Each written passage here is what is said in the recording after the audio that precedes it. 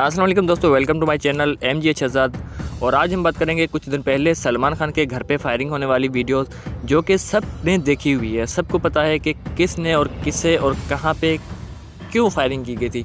सो आज उसके बाद सलमान खान के घर पे फायरिंग करने वाले मुलजमान गिरफ़्तार दो, दौरान तफ्तीश फायरिंग की वजह भी बता दी। बॉलीवुड स्टार सलमान खान की रहायश गाह पर फायरिंग करने वाले मुलजमान को वाकिफ़ के 24 घंटे दौरान ही गिरफ़्तार कर लिया गया।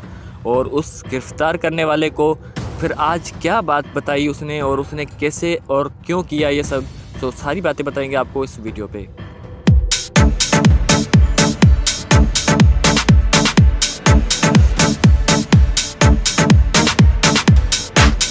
दोनों मुलजमा को गुजरात के शहर भोज से गिरफ़्तार कर गया। और दोनों मुलजमान का ताल्लुक रियासत बहार से है।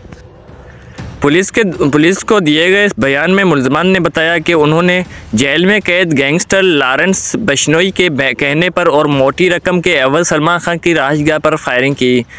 पुलिस के मुताबिक फायरिंग के बाद मुलजमान ने अपनी पिस्तौल सूरत के दरिया में फेंक दी थी। मुलजमा को गिरफ़्तार के हवाले से भारतीय पुलिस का बताया है कि इतवार के सुबह बांद्रा के हेड स्टैंड पर वाक़ सलमान खान के गैलेक्सी अपार्टमेंट के बालकोनी में मुलजमान ने फायरिंग की थी, जिसका मकसद अदाकार या उनके अहल खाना को नुकसान पहुँचाना नहीं, बल्कि खौफ फैलाना था।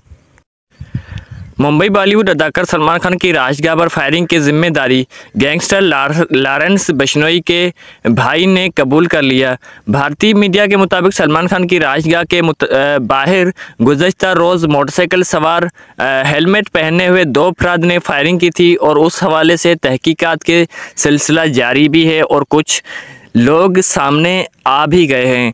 सो कौन है वो लोग? और वो भी हमने आपको बताया, उसके साथ उनकी वजह क्या थी? ये ये इतना बड़ा और इतना भारी काम करने के लिए, और वो भी आपको हम अभी बताते हैं।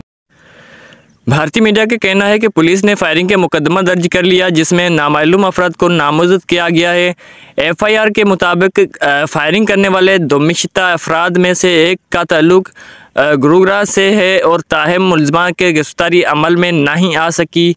भारतीय मीडिया का बताना है कि सलमान खान के घर पर फायरिंग का केस मुंबई के क्राइम ब्रांच के हवाले से कर दिया गया है, जिसके तहकीकात 10 से एडमिट से तहकीकात कर रही है। दूसरी जानब गैंगस्टर लॉरेंस बशनोई को भी गिरफ़्तार करने की पूरी पूरी कोशिश की जा रही है। सो अब तक के लिए इतना और मज़ीद साथ रहने के लिए दुआ करते हैं कि अल्लाह आपका और हमारा साथ सलामत रखे। आपको लास्ट बार गुजारिश है कि अगर हमारा वीडियो अच्छा लगा हो तो इसको लाइक करें सब्सक्राइब करें और बेल आइकन को प्रेस करें और अच्छा सा कमेंट करके बताएँ कि आखिर इस मसले का हल क्या होगा। तो चलते हैं, मिलते हैं किसी नेक्स्ट वीडियो पर अल्लाह निगहबान।